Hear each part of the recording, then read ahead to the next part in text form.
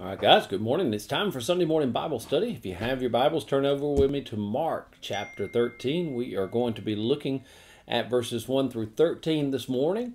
Um, it is the uh, final installment of the Fast 15s for um, the blessing of community. Uh, this is number eight, and next week is Donut Week, and so we'll all be together uh, in the Family Life Center. We invite you to come and be a part of that if you have not before been a part of it um, then certainly you're invited. Uh, if you have, then you're excited about the donuts and, uh, of course, the Word of God. Uh, the blessing of being in community. Let's pray. Father, we love you and we thank you for loving and giving to us so graciously, so wonderfully. Lord, I, I could never deserve who you are, and yet you have chosen to love me and that gives me infinite worth. And not only me, Lord, but you chose to love the world. That gives each human infinite worth, Lord, not because of who we are, but because of who you are as God, as Creator.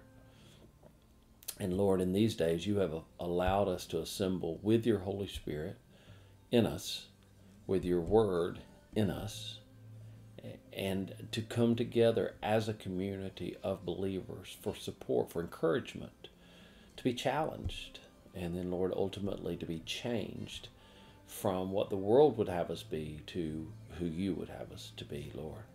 Hope. So, Father, bless us as we go through this journey of Scripture this morning. Lord, help us to see truth and to know truth. Most importantly, Father, help us to know you better this morning and help us to know ourselves better. We love you. Thank you for your word. In Jesus' name, amen. So, we are looking at uh, Mark chapter 13, beginning in verse 1. As Jesus was leaving that temple, uh, the temple that day, one of his disciples said, Teacher, look at these magnificent buildings. Look at the impressive stones in the walls. And, and so they're, they're leaving, and obviously, if you've ever been anywhere where there is um, man's handiwork, I love architecture fact, that was my first aspiration in life. That's what I wanted to be was an architect, not an engineer, but an architect. Uh, I love to design. I love to create uh, by design, and uh, and so um, I, I, just love architecture. I, I don't care what it is, uh, whether uh, what style it is. For the most part, um, I, I just love architecture. I love the intricacies of it. I love the um, the the things that are glaring. I love the things that are very um, you wouldn't notice unless you were interested in that type of thing. Uh, the subtleties. I, I just love it, and I think it's a marvelous and, and beautiful thing. So there's absolutely nothing. I want to say on the forefront of this, there's absolutely nothing wrong with appreciating things that men or, or people have created uh, artwork, uh, sculptures, um, electronics, whatever. There's there's absolutely nothing wrong with being in wonder of those things. I'm always, you know, I always think who who was the person that thought radio waves could go through the air unseen? I mean, they're all around us. Uh, radio, television, uh, all types of communication waves are all around us, and yet we don't see them. Uh, we can't touch them, can't feel them, but we can see what they do. And that's just amazing to me that someone's mind could conceive that. So I so I don't want you to think this is a we shouldn't strive to do great things uh, lesson. It is not. Jesus is not rebuking them uh, for um, noticing a beautiful building. In fact, of course, this one is uh, the one Herod has has created, but um, God Himself was the creator of, of buildings and, and uh, great buildings. And so it's not so much um, the being impressed or being inspired and being awed by it. Um, the Jews have had, and, and still to this day, have a unnatural affection. Unnatural is a bad word. Have placed too much emphasis on a building and not on a God and and this is the the thought that is coming out in the disciples. They're looking at the and with amazement at what man has created for God. And uh, and they say man just look how magnificent this building is. If we're not careful though we'll be more impressed with the creation than we are with the creator. Whenever I see great architectural wonders, I think, man, God, you made our brains so great that we could actually think of things like this. I don't think, man, we're, we're we don't really need God. Um, that that thought doesn't go through my mind, but but if we're not careful, we will begin to appreciate and fall in love with the creation and not the creator and then we've stepped off the path of righteousness and onto the path of death in, in some way because we have now misplaced our loyalties. Um, you know, if we can do this, then what do we need God for? And in fact, our culture is, is there in a lot of ways. We can do all these things. We can go to the moon. We can go to Mars and have a helicopter fly around, for goodness sake. Who could do that? But we don't need, so we don't really need God anymore. And that is the danger of this type of thinking. Um, these are these are Jews um, that are following Jesus. Uh, obviously, Jesus is a Jew, and so um, they're they are very impressed with the architecture, the the stone, how massive they are, as if this is something we can hold on to, and this is something that will always be. You know, I'm sure that many people, perhaps millions of people, walk past the World Trade Center in awe. I mean, I did. I didn't walk past it, but I saw it in in many um, in many movies and, and programs.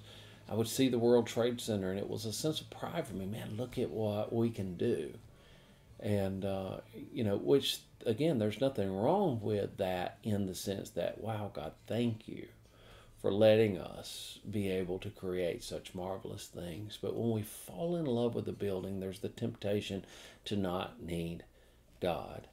And for these guys, they are all inspired by this magnificent temple. Maybe they're hoping Jesus will say to them, "Yeah, and it's not going to be long for we all move into it." you know, I don't I don't know what the emphasis is, but Jesus says this. Yes, look at these great buildings. But they will be completely demolished. In other words, that's something temporary. Guys, I have called you to the eternal. Nothing wrong with looking and appreciating the temporal things, but I've called you to the eternal. Your mission is much greater than just some stones stacked on top of each other because your mission is live. These stones are dead. And, and what we find is sometimes people fall in love with things more than they fall in love with a person. People fall in love with an idea more than they fall in love with a person and God's relational. And so he wants it to be about the relationship, not about the thing. The thing is okay. There's there's nothing wrong. We can do the same thing with our church. We we have we at Eastside have an incredibly beautiful facility. It's it's in many ways a great great blessing. Some ways it's a curse. We have to keep it up, and that's a lot of work, a lot of money. Um, but it's great great blessing. But if we're not careful, sometimes we will worship the building at the expense of the people. God didn't come, Jesus didn't come to save the temple. He came to save the Jews and ultimately us. He didn't come for a building. And, and that's what he's trying to get the guys to refocus on here is, or the, the disciples is, yes, that is a, an incredible building, but we have an incredible God who has an eternal mission, not a temporary. And this one is going to be destroyed. And, and in fact, we know 70 AD it was um, destroyed by the Romans, actually. Later, um, Jesus sat on the Mount of Olives across the valley from the temple, so you could see it. The Mount of Olives and, and the temple are relatively the same height. Of course, there's a gouge in between, but relatively the same height. But you could see from the Mount of Olives the temple in Jerusalem because it was elevated. And um, so they're sitting there and they're once again looking at the temple. And Peter, John, uh, Peter, James, John, and Andrew came to him. Now, the first four disciples that were called um, come to him privately and ask, Tell us when this is going to happen. So, this, this temple is going to be destroyed. That's what they've got in their mind. This, this temple can't be destroyed tell us when. But they know Jesus, so they know for, for a fact that he knows what he's talking about. But this, this temple can't be destroyed. If you go to this area today, you're going to find that there's a Muslim um, mosque on top, the Dome of the Rock, uh, where Muhammad supposedly got some uh, ascended, maybe. Um, there's eh, right in the middle of the foundation, and, and that's really all that's there. And they have what's called the Wailing Wall, and people still go to that as if it's a god. And again, I'm not making light of, of their beliefs, and and certainly not all of them have wrong intentions or wrong ideas when they go there, but many people do. And so the disciples say, when, when is this going to happen? In other words, now instead of getting diverted by the temporal temple, now they're getting diverted by the temporal activities uh, and actions. So when is when is this going to happen? Tell us. What's a sign that we can look for to know that this is going to happen? Because see, for the disciples, and this is this is hard for us to understand because we are we know better, but they're living this this this word. They're living this one day at a time. Just as we're living our lives, we don't know what's going to happen in the next five minutes. They didn't either. And so they didn't have the beauty of the completed Word of God like we do. And so um, they're looking at this. Tell us what's going to happen. What's what's a sign? And Jesus says some interesting things, but the gist of what he says is don't be distracted by signs, by what people say, by what people do. Trust me. This is what it says. Don't let anyone mislead you, for many will come in my name, claiming I am the Messiah. They will deceive many, and you will hear of wars and threats of wars, but don't panic, don't worry. These things must take place, but the end is not immediate. See, see, the disciples thought that well, first they really couldn't grasp the fact that Jesus was going to die. They literally thought that now we're here at Jerusalem in just a few days, maybe tomorrow. Jesus is going to come in. He's going to assert, uh, assert his author, assert his authority, and uh, and we're going to be reigning with him in some some fashion. And then even as Jesus died, and then they they watched him go up, they literally believed, as as Paul's writings and uh, says or alludes to that he does as well, that Jesus is going to come right back and when he comes right back, they're all going to rule. They, they couldn't see the 2,000 years plus in between. And, and you and I prob- probably couldn't have seen that either. Uh, um, but, but it was there. And this is what he says there will be many who deceive. There will be roars and rumors. War always has been, always will be. Don't panic. Um, Nation will go war against nation, kingdom against kingdom. There will be earthquakes, earthquakes in uh, diverse parts of the world or, or many parts of the world. Always has been, always will be, until Jesus makes sets it all right. As well as famines, but this is only the first of the birth pains. This isn't the baby coming. This is just the first of the birth pains. When these things happen, watch out. In other words, be alert. Keep your eyes open be sober. I've, I've got several scriptures that I'm going to go into in the message um, today, but but live your life watchful, not worrying. There's a saying, I'll cross that bridge when I get to it. You don't know that you're going to get to that bridge. Some people try to cross the bridge before they get to it. Mom said, don't cross that bridge till you get to it. Um, and it, because the meaning of that is you don't know that you're going to have to go through that. So why are you trying to rush into it when you don't even know that's your path to begin with? Don't cross the bridge till you get to it. Uh, don't cross the bridge um, if you get to it or when you get to it. You don't know what's going to happen in the future. So don't worry. Even when it looks like it's time to worry, don't worry. God's got this. You, Christian, are a winner either way. Now, I know that's hard. It's easy when life is easy to say those things.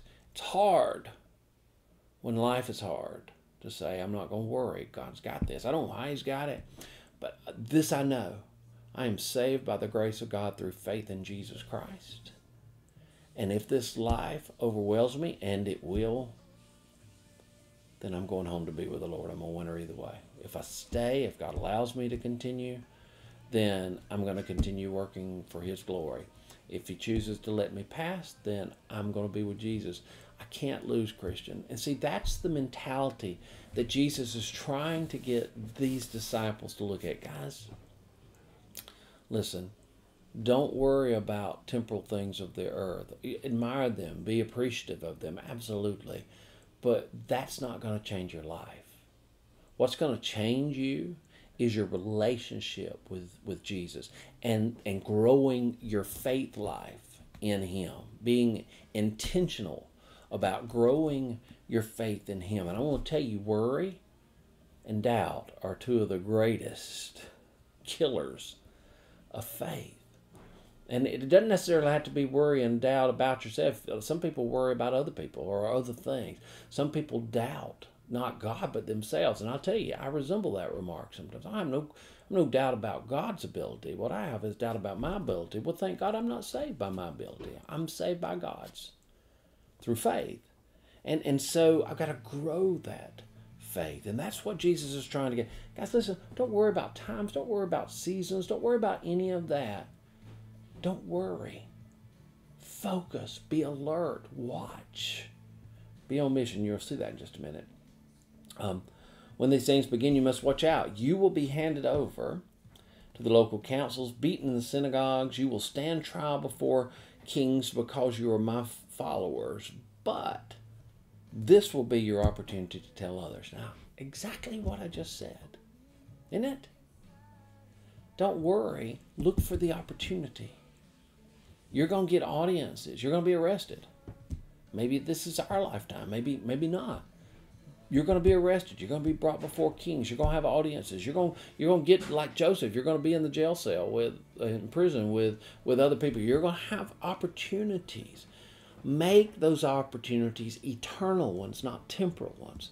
Yes, you know, form relationships. Yes, be be personal. Be human. But at the end of the day, we're to be on mission with the gospel, the good news. And how's the rest of the world going to know it if you're distracted by the things of the world, by the worries of the world? How, how, how is it that the world who is dead is going to be brought back to life unless we who are alive show them the way? Don't worry about these. Use it as, as an opportunity. Verse 10 For the good news must first be preached. And then, of course, it says to all nations the good news, the gospel. Jesus loves, Jesus saves. There is hope for you. Even if you feel hopeless, there is hope for you. The good news. Use your your spot. Don't plan on what you're going to say. Just use your relationship. Use your testimony. Share that. Well, Brother Randall, my testimony isn't that impressive. Then get to growing get to growing. Mine wasn't either. I was just a little boy in the back seat of a Chevrolet Chevelle for many years. And then I began to trust God. And as I trusted God, my faith began to grow. And as I took steps that were daring, in fact, horrifying in some ways, my faith grew through those. When I've been pushed into uncomfortable situations, which you just about have to push me into that, because I don't like them. That's where my faith grows. And that's where your faith grows. Because God comes through. Learned on Wednesday night, God's faithful. If He made a promise, He keeps His promise. You can count on it. God is faithful. And so the good news must first be preached. Tell it. Use your opportunities for the good news. Verse 11, but when you are arrested and stand trial, don't worry. There it is again. I'm in jail. I don't want to be in jail. God's saying, don't worry. Why? Why? Because I've got you. Jailed, not jailed. Hospital, no hospital. Health, unhealth. Jobless, beautiful job. I've got you. I've got you. Trust me. I'm going to say that you're going to like everything that happens, but you're going to love the results. Watch out. Don't worry. Be sober. Don't plan on what you're going to say in advance. Just say what God tells you at the time. In other words, the Holy Spirit will take over. Happens every time. I, I know all of all of us preachers have various methods for the way we do things. Some, um, like um, Brother Wayne Weeks, which is one of my favorite men, um, he writes everything down. David Jeremiah does this. He writes everything that he's going to say down, and and he says it. Absolutely nothing wrong with that, um, because at the moment that God gave it to him, that's what he was doing. I trust he's writing down what God says for him to do. I, on the other hand, study, study, study, study, study and then when it comes, and I have an outline of the scripture, and then when it comes time to stand in the pulpit, I trust the Holy Spirit to speak, and He does. Now that's the way I do it. All of us are different, but I just want to tell you trust God. Don't lean on your own understanding. Don't lean on your own charisma. Don't lean on your own degree. Don't lean on on who who you are, who you have been. But let God speak through you. People don't need to hear you, preacher. People need to hear God. You don't have the I don't have the answer. God does. But I know God. And I know because he's called me to preach that he will give the answer through me to you. I don't know your life. I don't know everything that's going on with you, but God does. And so he'll use me. And not just me, I'm just one of hundreds, thousands that he has that he'll use to make a difference in your life. Don't don't plan in advance what you're going to say. Just let God do it. As if it was not you speaking, but the Holy Spirit. Surrendered. That takes faith. That takes growth. It takes submission. It takes obedience. I read this, I believe, maybe it was original to me. I somehow doubt it but I, maybe I read this at some point. True faith is always proved by faithfulness. True faith is always proved by faithfulness. True faith is always grown by faithfulness. You do it one day at a time, and it builds upon builds upon builds until at some point you have a testimony that is incredible. That's in, that is decidedly yours. In that, it's like your fingerprint. No one else has exactly your testimony because your life circumstances is are different in some ways, many ways, much different than mine. Your God's the same, I hope, but your testimony may be very different, and that testimony grows.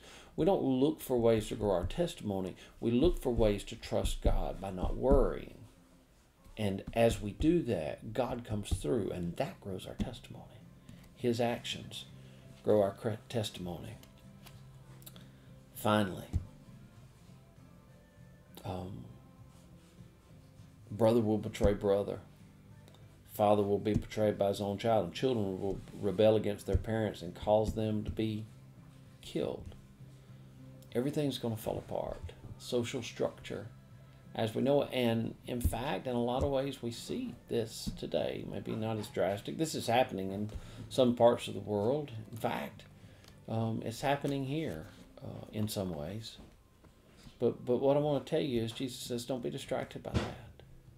Don't be distracted by that. In fact, he says, everyone will hate you. And wow, we see hate. Now, it's not just, I don't want to become martyrized here. It's not just um, people hating Christians, although that is the flavor of the day in some ways. Um, people just hate. It's just a hateful t- time. But Jesus says, people will hate you because you are my followers.